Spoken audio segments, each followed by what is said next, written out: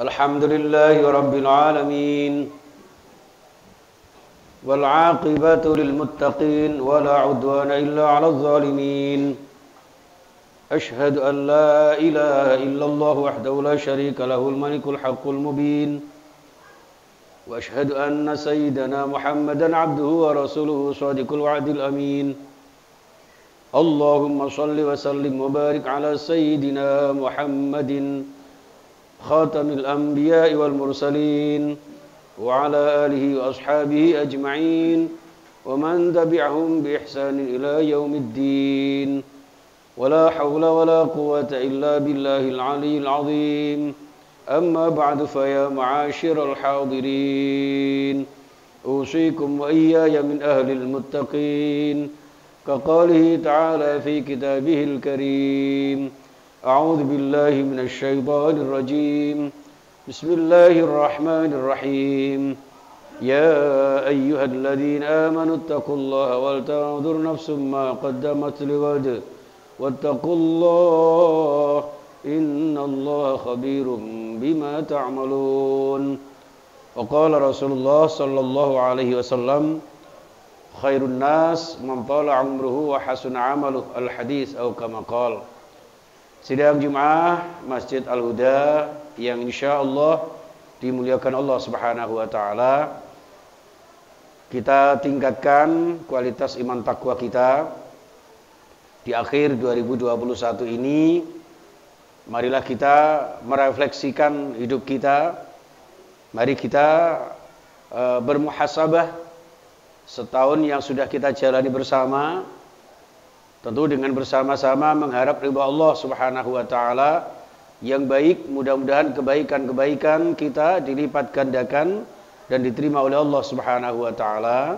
Keburukan-keburukan kita senantiasa diampunkan oleh Allah dan kita senantiasa selama satu tahun ke depan ini diberikan kesempatan oleh Allah untuk memperbaiki diri kita, menjadikan diri kita hamba-hamba Allah yang mulia, menjalankan perintah-perintahnya, meninggalkan larangan-larangannya, agar kita senantiasa menuai bahagia, bahagia di dunia sampai akhirat nantinya. Amin ya rabbal alamin.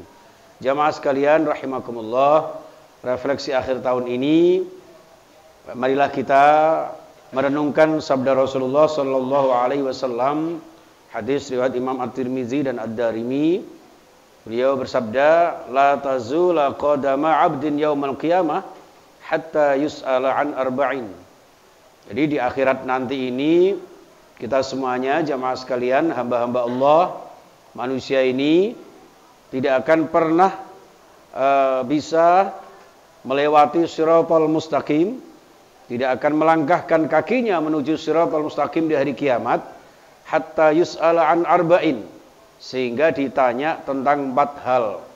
Yang pertama jamaah sekalian an umrihi fima afna ditanya oleh Allah Subhanahu wa taala tentang waktu, tentang usia, tentang umur yang diberikan Allah kepada kita untuk apa kita habiskan, untuk apa kita kau gunakan. Ini jamaah sekalian. Maka di dalam hadis yang yang kita sering dengarkan, hadis riwayat Imam At-Tirmidzi, khairun nas man umruhu wa hasuna amaluh. Sebaik-baik manusia adalah yang diberikan oleh Allah umur yang panjang umur yang panjang itu digunakan untuk beribadah untuk beramal soleh uh, kepada Allah Subhanahu wa taala. Wasyirarun nas atau wasyarrun nas man umruhu wa sa'amaluh seburuk-buruknya manusia adalah yang diberikan panjang umur tapi tidak mampu menggunakannya untuk kebaikan-kebaikan kemaslahatan-kemaslahatan meraih ridha Allah Subhanahu wa taala jamaah yang dimuliakan Allah Subhanahu wa taala. Yang kedua adalah wa an jasadihi fi ablah tentang fisik kita. Akan ditanya jasad kita akan dipertanyakan oleh Allah Subhanahu wa taala. Akan dimintai pertanggungjawaban oleh Allah Subhanahu wa taala. Untuk apa kita diberikan fisik yang sehat ini? Untuk apa mata yang diberikan oleh Allah kepada kita? Apakah sudah memandang ayat-ayat Allah untuk meningkatkan akidah kita, keimanan kita? Apakah diberikan oleh Allah tangan yang begitu lengkap? Kesempurnaan penciptaan kita ini sudahkah kita gunakan untuk beribadah kepada Allah Subhanahu wa taala. Sedangkan Rasulullah bersabda, eh, al mu'minul qawiyyu afdalu wa habbu ilallah minal mu'minid dhaif. Seorang mukmin yang sehat, kuat, yang mampu menggunakannya untuk ibadah dan taat, tentu lebih diutamakan oleh Allah, lebih dicintai oleh Allah Subhanahu wa taala daripada orang yang lemah fisiknya atau yang lemah fisiknya karena tidak mau berusaha untuk menjadikan dirinya sehat jasmani yang dengan sehat jasmani itu untuk kita gunakan beribadah kepada Allah Subhanahu wa taala. Bukankah Allah menegaskan di dalam surah At-Tin jamaah sekalian, laqad khalaqnal insana fi ahsani taqwim. Sungguh kami Allah telah ciptakan manusia ini dalam penciptaan yang sangat-sangat sempurna. Dan tentu kesempurnaan ini jamaah sekalian hendaknya kita pergunakan untuk beribadah kepada Allah agar kita tidak termasuk summaradadnahu asfala safilin. Agar kita tidak termasuk orang yang dikembalikan oleh Allah ke derajat yang serendah-rendahnya. Kenapa? Karena tidak mampu mengimplementasikan penciptaan Allah yang demikian sempurna ini untuk beribadah kepada Allah Subhanahu wa taala. Illalladzina amanu wa amilus solihat. Kecuali orang yang istiqomah tegak di dalam imannya istiqomah di dalam beramal soleh dan amal ibadah sehingga menjadilah orang-orang yang ajrun ghairu mamnun mendapatkan pahala yang tanpa terhitung yang inilah yang hakikat bahagia karena menggunakan kekuatan kesehatan fisiknya untuk beribadah kepada Allah Subhanahu wa taala yang pada akhirnya diutamakan, dimuliakan dan dicintai oleh Allah Subhanahu wa taala. Jamaah salat Jumat yang dimuliakan Allah. Lalu yang ketiga yang ditanyakan oleh Allah adalah wa an ilmihi madza amila fi atau fima anfa'ahu. Ditanyakan oleh Allah Subhanahu wa taala tentang ilmu pengetahuan dan wawasan yang diberikan Allah kepada kita. Betapa Allah turunkan surat pertama ayat pertama adalah Iqra bismi rabbikal ladzi khalaq. Menggambarkan kita disuruh menguri-uri oleh Allah. Kita disuruh mengembangkan wawasan keilmuan kita. Sharing-sharing pengetahuan yang terbaik untuk kehidupan kita Apalagi situasi pandemi seperti ini jamaah sekalian. Ilmu pengetahuan sangat-sangat kita uh, fungsikan, sangat-sangat kita urgensikan di dalam kehidupan kita untuk menapaki kehidupan yang lebih baik. Karena baik tidaknya seorang muslim adalah bagaimana dia berpegang teguh kepada ilmu Allah Subhanahu wa taala. Sehingga Allah menegaskan di dalam Al-Mujadalah ayat 11, "Yarfa'illahu alladhina amanu minkum walladhina utul ilma darajat." Yang diangkat derajatnya oleh Allah Subhanahu wa taala adalah dua komponen manusia yaitu orang-orang yang beriman kepada Allah dan orang-orang yang berwawasan luas berilmu pengetahuan dengan meraih ridha dan hidayah Allah Subhanahu wa taala.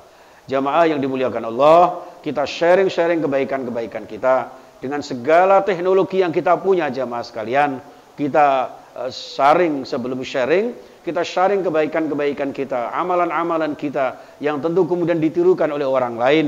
Dengan ilmu dan wawasan yang kita miliki ini jamaah sekalian diharapkan kaum muslimin mendapatkan kemuliaan yang sering kita kenal dengan izzul Islam wal muslimin. Kemuliaan kaum muslimin kemuliaan Islam tergantung bagaimana ilmu pengetahuan yang kita pegang teguh dalam segala aspek kehidupan yang nanti pada akhirnya meraih ridha Allah Subhanahu wa taala dengan ilmu yang diberikan kepada kita, kemudian kita akan mengetahui diri kita.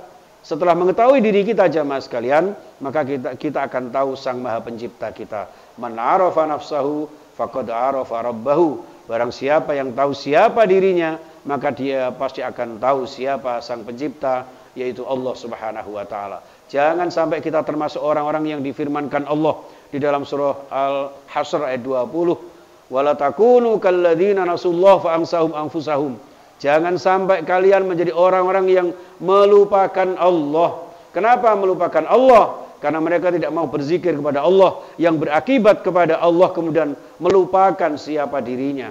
Kadang-kadang orang yang lupa siapa dirinya, siapa keluarganya, siapa orang-orang terdekatnya, sehingga tidak jarang kita temukan kasus-kasus kemudian terjadi kerusakan dan sebagainya diakibatkan karena tidak menyadari siapa dirinya yang harus bermanfaat kepada orang lain.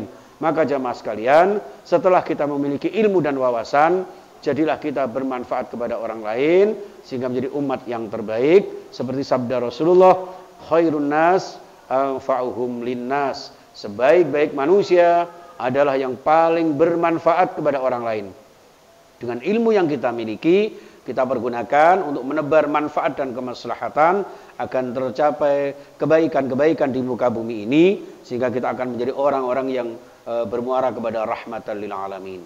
Jamaah sekalian rahimakumullah, yang terakhir yang nanti akan dihisap, dipertanyakan, dipertanggungjawabkan di hadapan Allah Subhanahu wa taala adalah fi malihi an malihi min aina tasabahu wa fi ma anfaqahu.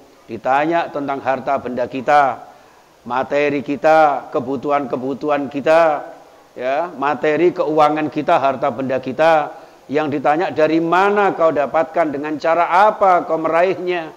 Apakah sudah sesuai dengan halal haramnya? Apakah sudah sesuai dengan harapan Allah Subhanahu wa taala?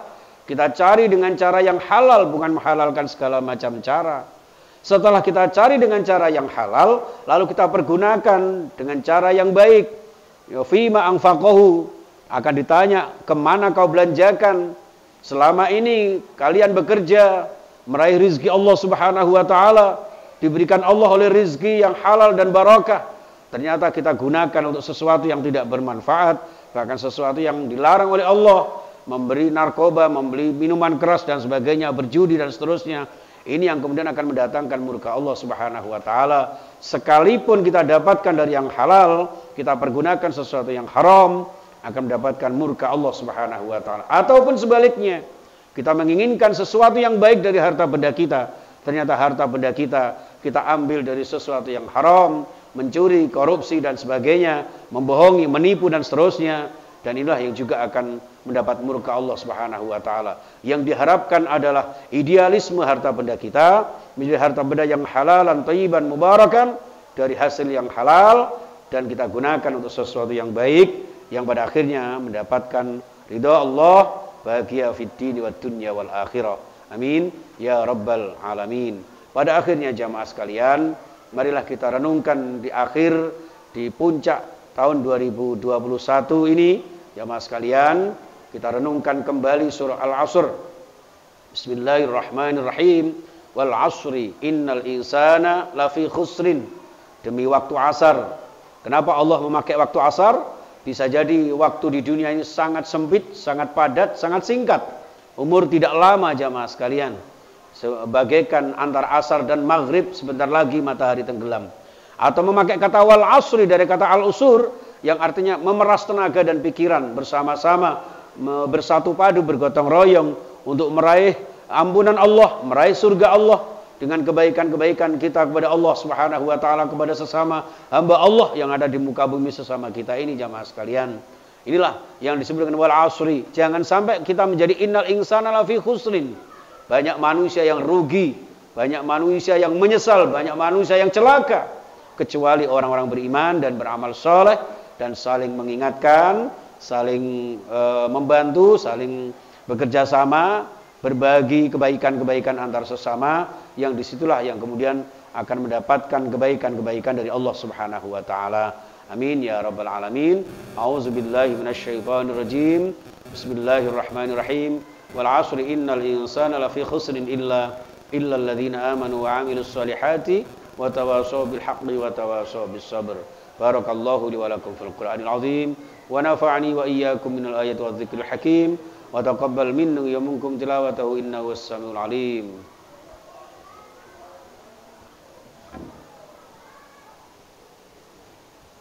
اللهم صل على محمد اللهم صل على سيدنا محمد. اللهم صل وسلم إن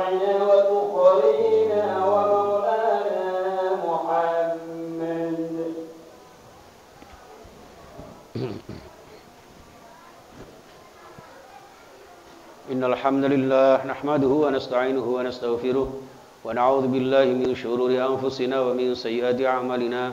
فمن يهده الله فلا مضل له ومن يضلله فلا هادي له. أشهد أن لا إله إلا الله وحده لا شريك له. وأن محمدا عبده ورسوله لا نبي بعده. اللهم صل وسلم وبارك على سيدنا محمد وعلى آله وأصحابه وموالاه. ولا حول ولا قوة إلا بالله. أما بعد فيا معاشر الجماعة أوصيكم ونفسي بتقوى الله لعلكم ترحمون. كقوله تعالى في كتابه الكريم أعوذ بالله من الشيطان الرجيم. بسم الله الرحمن الرحيم. يا أيها الذين آمنوا اتقوا الله حق تقاته ولا تموتن إلا وأنتم مسلمون. وقال أيضا إن الله وملائكته يصلون على النبي يا أيها الذين آمنوا صلوا عليه وسلموا تسليما.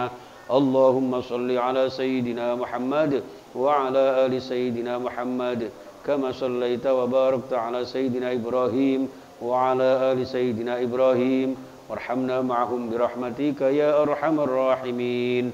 اللهم اغفر للمؤمنين والمؤمنات والمسلمين والمسلمات الأحياء منهم والأموات.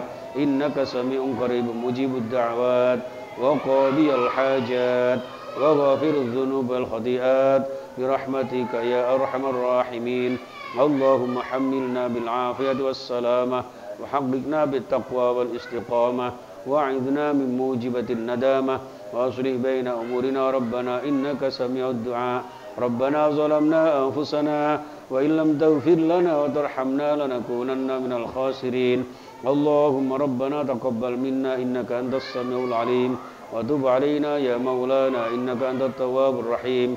اللهم سلمنا والمسلمين وعافنا والمؤمنين.